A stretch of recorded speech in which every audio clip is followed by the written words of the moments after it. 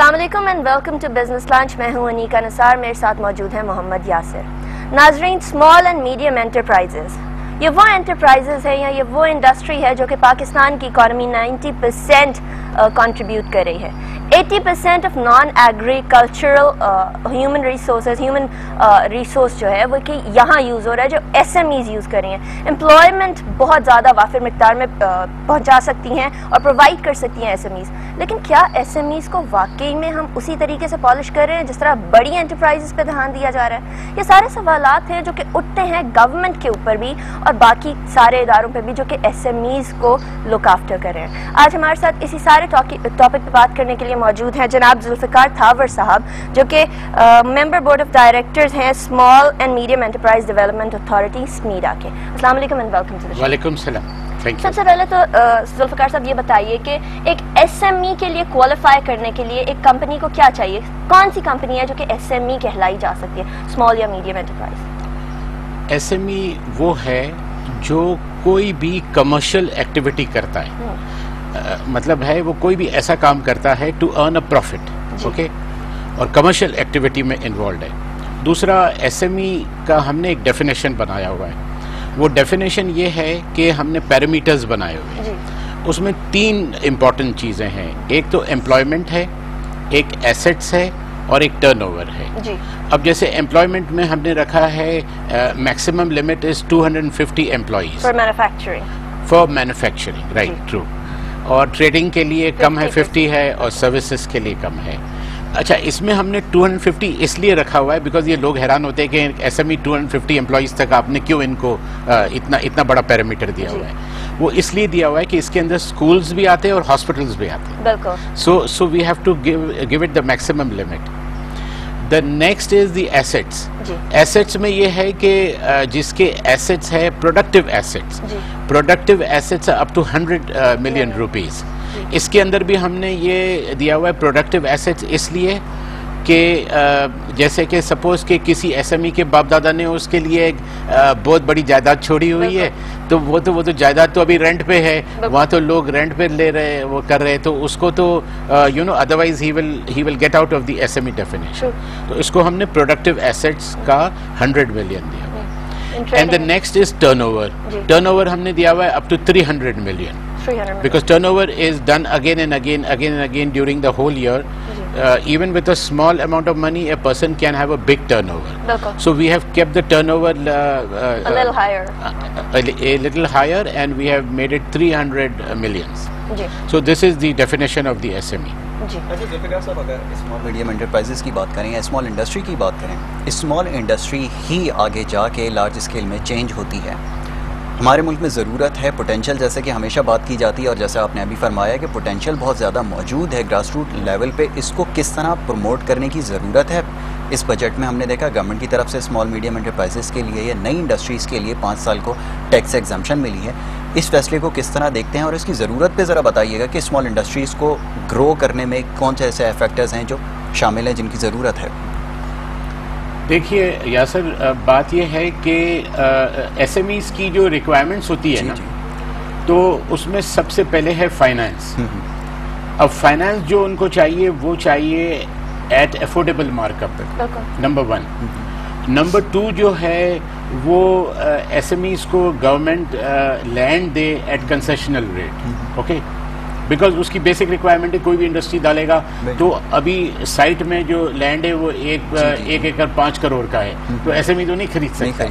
तो आपने उनको आउटस्कर्ट्स में देना है land and you have to give them land at concessional rate number three is you have to give them raw material uninterrupted supply अगर मैं कोई फैक्ट्री डालता हूँ और समझे मैं प्लास्टिक मोल्डिंग की फैक्ट्री डालता हूँ और मुझे मेरा मटेरियल आज मिलता है कल नहीं मिलता है जो आम ऐसे होता है अच्छा और वो इसलिए होता है कि प्लास्टिक के अंदर सट्टा होने लगता है स्पेकुलेशन होने लगते हैं प्राइस अप डाउन होता है मेरी फिजिबिलिटी आउट हो जाती है।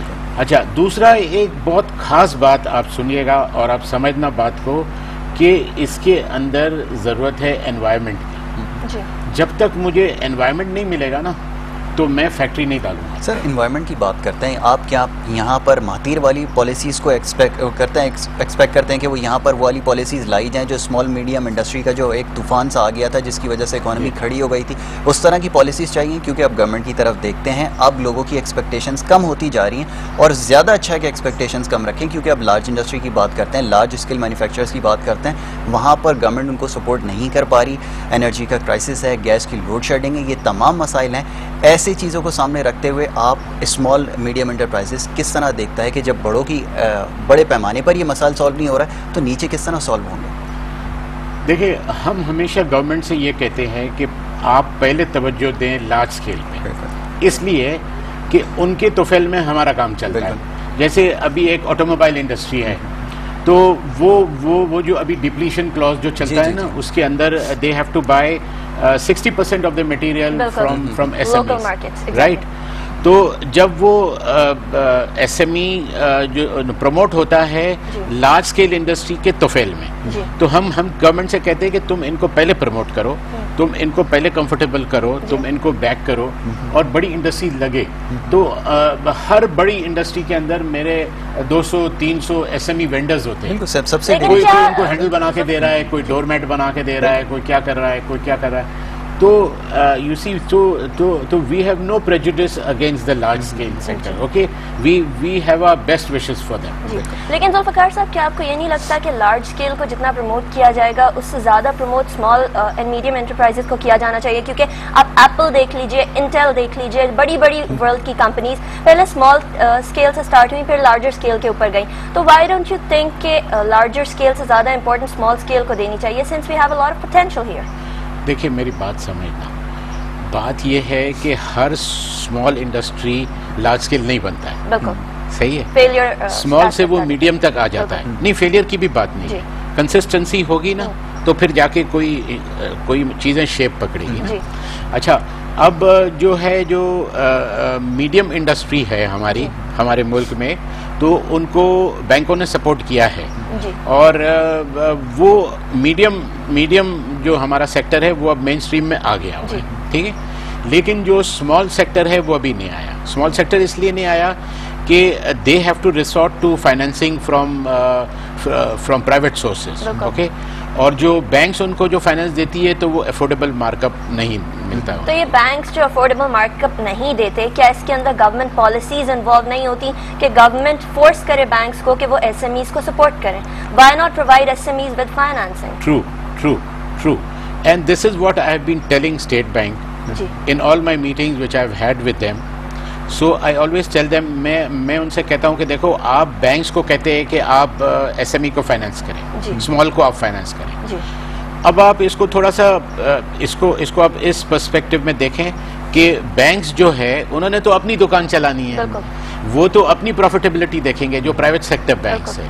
तो वो लोग कहेंगे कि भाई हम तो उनको फाइनेंस करेंगे जहाँ हमें प्रॉफिट मिलेगा। बैंकिंग में थावर साहब अगर देखें तो कंज्यूमर फाइनेंस की अगर बात करते हैं तो बैंकिंग में तो पहले इतने ज़्यादा लॉसेस बेयर करने पड़ रहे हैं। फिर अगर आप उनको माइक्रो फाइनेंसिंग की तरफ़ लेकर आएँगे तो वो एक बहुत मुश्किल काम है क्योंकि जहाँ पर कंज्यूमर फाइनेंसिंग जब तक इस्टेब्लिश नहीं होगी तब तक माइक्रो फाइनेंसिंग की तरफ़ जाना एक बड़ा मुश्किल काम है। अच्छा कुछ बात कर रहे थे समीडा के हवाले से करते हैं स्मॉल मीडियम इंटरप्राइजेस की जो एक अथॉरिटी है।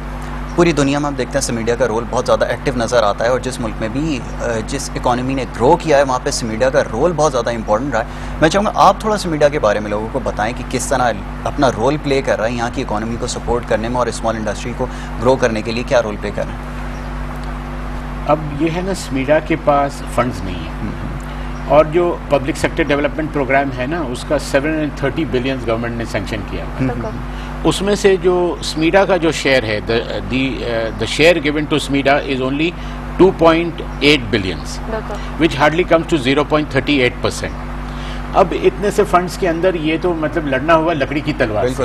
वो अभी स्मीडा के चीफ एग्जीक्यूटिव मेरे साथ बैठे थे तो मैंने कहा what do you propose to do तो that poor fellow was you know fed up के ये यू नो तो अच्छा और दूसरा आप देखें कि ये स्मीडा में बहुत से अच्छे टैलेंटेड ऑफिसर्स हैं they really know the subject and they can really do wonders और they जैसा can do wonders but what are they doing at this point in time at this point of time uh, smida has about 28 projects going mm. uh, they they have done a lot in fisheries, in bangles, in marbles. अभी चिलीज में you see they take one industry and they upgrade it उसको upgrade करते हैं। उसको modern modernise करने के लिए वो लोगों को बताते हैं और uh, उसको अपग्रेड करते हैं। तो कॉटेज इंडस्ट्री को अपग्रेड की अपग्रेडेशन में कितना काम करी है स्मीडा एंड अभी तक कहाँ तक पहुँचा? है स्मीडा ने बहुत काम किया हुआ है बहुत अच्छा काम किया हुआ है और काफ़ी इंडस्ट्रीज़ के अंदर जैसा उन्होंने राइस के अंदर उनको सिखाया पेडी ड्राइंग का सिखाया मेस के अंदर उन्होंने सिखाया कॉटन जिनिंग के अंदर सिखाया। तो तो इनका स्मीडा का काम ऐसा है कि वो It is it is behind the scenes जी।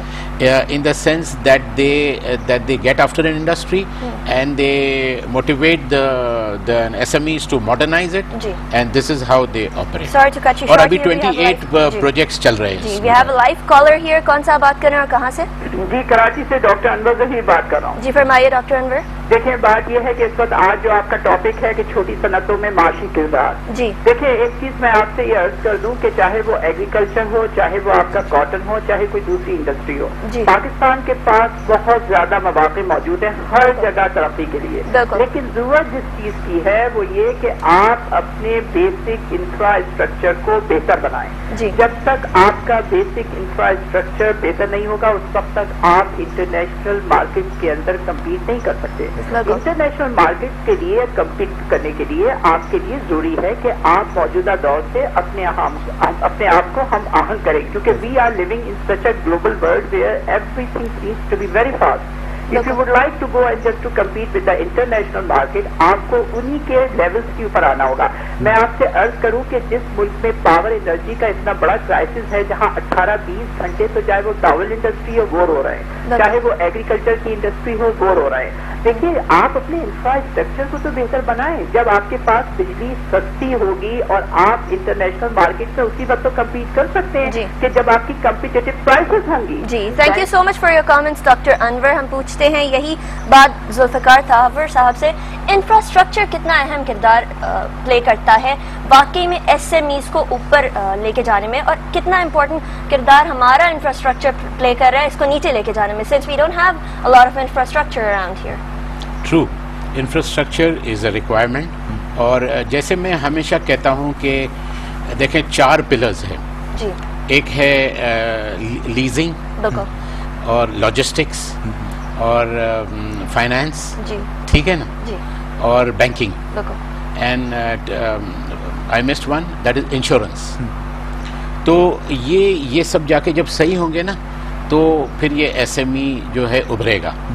देखें अभी बैंक्स फाइनेंस नहीं करती है एसएमई को because the the bank should be insured if if the SME fails then the government has to pay the bank तो वो that is credit credit guarantee insurance okay अच्छा likewise leasing अब मैं इनको लीजिंग के लिए तो इतना ज़ोर दे रहा हूँ कि मैं कहता हूँ कि आप कमर्शियल प्रॉपर्टी लीजिंग पे। दें। अब गाड़ी देते हैं। गाड़ी तो लेके कोई भाग सकता है। दुकान तो लेके नहीं भागेगा। तो आप उसको दुकान दे क्यों नहीं देते? जब आप गाड़ी देते तो आप दुकान क्यों नहीं देते? Give em a shop give em a workshop give him a factory on leasing बिल्कुल। He will pay you after 20 years 25 years तो ये हुआ अच्छा इंफ्रास्ट्रक्चर तो logistics is again connected to infrastructure तो लॉजिस्टिक्स आप देखें ना आपके यहाँ आपने अभी पढ़ा होगा पिछले दिनों मेरा ही एक आर्टिकल था कि 40 percent of your fruits and vegetable goes to rot exactly तो तो ये रॉट हो जाता है। It is it is lying on the streets अब जब टोमेटो की सीज़न आएगी it will be on the streets and there be nobody there price hike कर लेते हैं लेकिन ये चीज़ नहीं देखते ये नहीं किस तरीके से देखते अभी वीट का वीट का आपका बम्पर क्रॉप हुआ। Now your wheat is lying open in the this thing if it rains तो गया आपका वीट तो for God sake I tell them कि तुम इसको ठीक करो बिल्कुल। But then it is not it is not SMEDA alone that can do anything. SMEDA is a consultative body. SMEDA is a policy making body. We make the policy and we give the government. यही बात करेंगे कि स्मीरा ने कितनी policies बनाई, कितना काम किया ब्रेक के बाद, लेकिन हम लोग आपको बता रहे हैं कि छोटी सनतों का कितना किरदार है, पाकिस्तान की मुआशी तरक्की में, और कितना किरदार उनका, उनसे कितना फ़ायदा उठाया जा रहा है। बिज़नेस लंच देखते रहिए, मिलते हैं ब्रेक के बाद।